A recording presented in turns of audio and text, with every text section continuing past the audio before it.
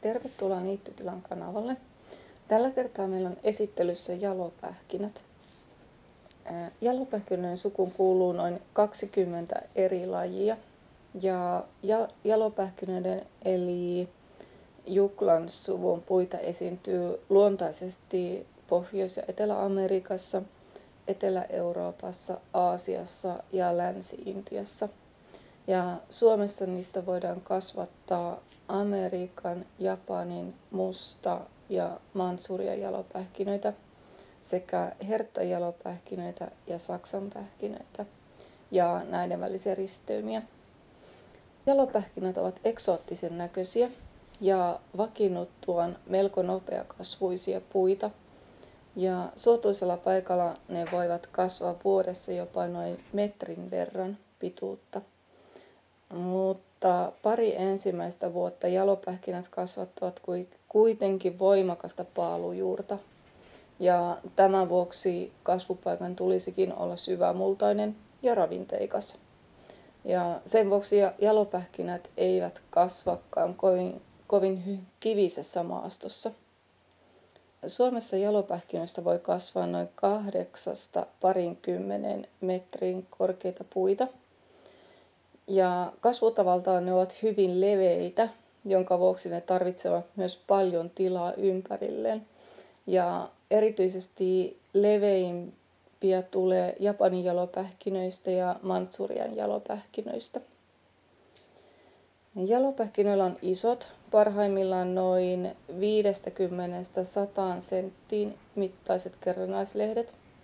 Ja ne lehdet luovat puulle hyvin eksoottisen vaikutelman.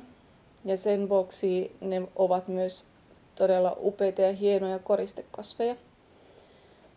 Lämpiminä syksynä puut voivat saada keltaisen syysvärin, mutta lehdet ovat kyllä hyvin arkoja pakkaselle ja ne saattavat pudota jo e- usein vihreinä syksyn ensimmäisten pakkasöiden jälkeen. Jalopähkinät kukkivat yleensä lehtien puhkiamisen aikoihin ja hedelmärkot ovat keltaiset ja noin 10-20 cm pitkiä. Ja emikukat ovat puolestaan punaisia ja noin sentin mittaisia. Ja vaikka puu on periaatteessa yksikotinen, niin sen hedelmärkot ja emikukat voivat avautua usein hieman eri aikaan, minkä vuoksi Yksi puu ei välttämättä riitä pölytykseen. Ja jos haluaa varmistaa pähkinäsadon, niin kannattaa olla toinenkin puu. Ja nämä pähkinät risteytyvät helposti keskenään, että ei välttämättä tarvitse olla samaa lajiketta.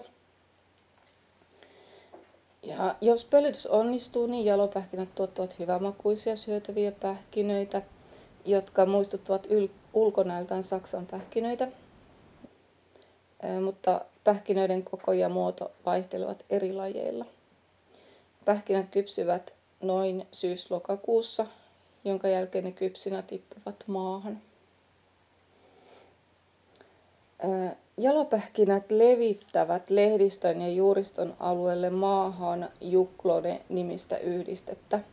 Ja se yhdiste ehkäisi joidenkin puiden kasvua näiden puiden läheisyydessä – Esimerkiksi puista muun muassa jotkut omenapuulajikkeet, havupuu ja magnolialajit sekä poppelit eivät siedä tätä juklonea. Ja myöskään kasvimaata ei kannata perustaa jalopähkinöiden läheisyyteen.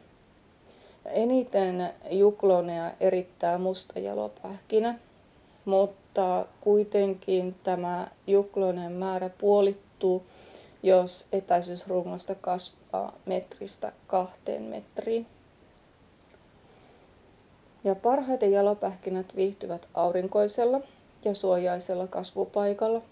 E, jalopähkinöiden isoihin lehtiin tarttuu tuuli hyvin helposti ja nopean kasvutapansa vuoksi ne uudet versot eivät ehdi puutua kunnolla.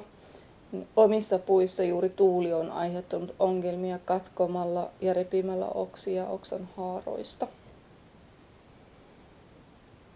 Amerikan jalopähkinä, Japanin jalopähkinä, musta jalopähkinä ja Saksan pähkinä on talvehtinut puutarhassamme toistaiseksi lähes ongelmitta kolmosvyöhykkeellä – Ja kestävimpinä näistä pidetään Amerikan jalopähkinöitä ja Japanin jalopähkinöitä.